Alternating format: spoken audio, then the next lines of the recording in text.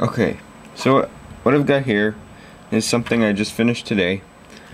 Um, it really, uh, what it does is it makes this LED respond to music, um, just kind of flash along and bounce along with the music. Um, I have a sensitivity controller right here, and it's just a little trimming potentiometer. Um, I have a 5 volt regulator, I have a quad comparator, uh, which just compares the voltage the voltages it gets from the microphone um, and the voltage it gets from the uh, uh, potentiometer. And it and whichever one is bigger uh, well the the resistance of the microphone varies as you talk or as it as there's music. So if it gets more it'll flash this LED on and if it's less it'll just turn it off. So that it works actually really well.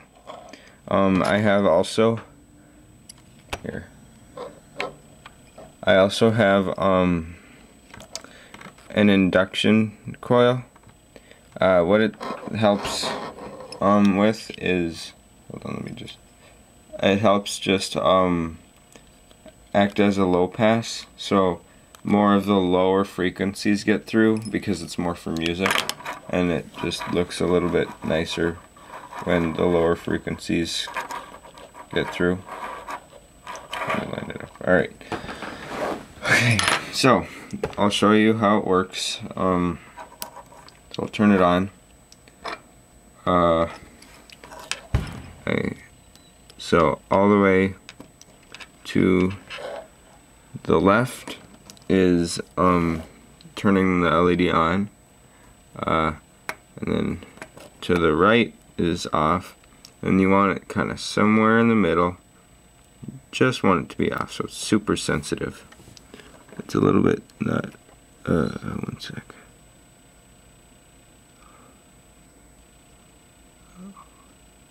Okay. So you can see that it responds to me talking yeah it responds really well to like voices.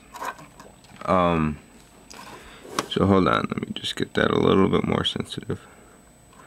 If I if I take time, I can get it like I can get it to be super super sensitive. Uh, but you probably don't want to watch me going around with that. So here's the on off switch. Uh, so it's off. Here, let me zoom out. Right, yeah, it's back off. Um, there. Okay, so I'll play some music. Um,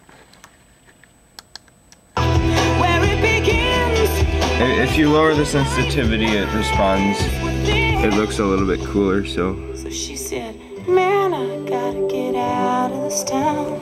Yeah, now I gotta get back on that train. It's responding to the bass right now. I'm out of my pain. So I'm going back to work. See? Uh, the bass, it works really well. Um, yeah. And that's just about it. I'm powering it with 9 volts and it's regulating it back down to 5 volts. Yeah, that's about it.